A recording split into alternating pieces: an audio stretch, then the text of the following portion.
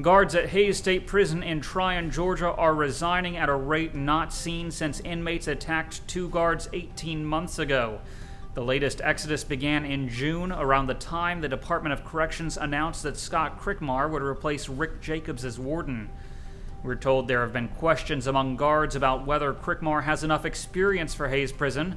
Walker State, the prison he comes from, is just over half the size of Hays, and the worst offenders aren't even housed there. In the past three weeks, 16 officers gave their notices, quit, or were transferred to another facility. Some guards say they fear the worst when the partial lockdown at the prison is finally lifted. Even though guards now have stab proof vests and have gone through pepper spray training, they say inmates are making threats and that administrators aren't concerned enough about guard safety.